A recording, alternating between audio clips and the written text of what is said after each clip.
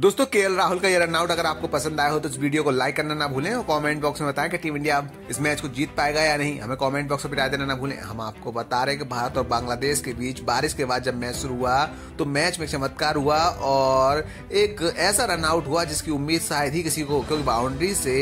ऐसा throw stamp पसीदे के राहुल ने जो मारा उसके बाद सभी बहुत चक्के थे और के राहुल और सभी टीम इंडिया का जश्न भी देखने लायक था जी हाँ जो लिंटन धुआंधार बल्लेबाजी कर, भारत को परेशान कर रहे थे उन्हें ही के राहुल ने शानदार तरीके से आउट कर दिया जी हाँ इस रनआउट को देखिए कि किस तरीके से एक ही स्टैम्प दिख रही है और के राहुल ने इस थ्रो को शानदार तरीके से सीधे स्टैम्प में मार दिया और ये जश्न टीम इंडिया का आप देख अंदाज लगा सकते हैं कि कितना बड़ा विकेट था अगर आपको भी लगता है कि टीम इंडिया की जीत होगी तो कमेंट बॉक्स में बताएं और हाँ अगर आपको ये रनआउट पसंद आया हो तो इस वीडियो को लाइक करना बिल्कुल ना भूलें